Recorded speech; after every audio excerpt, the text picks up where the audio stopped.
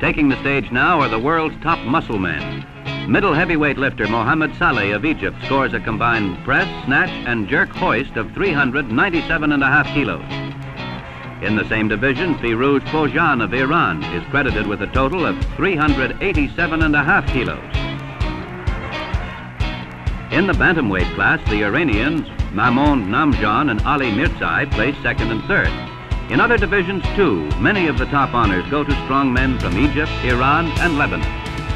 Heavyweight John Davis of the United States hoists a total of 460 kilos, repeating his Olympic triumph of 1948.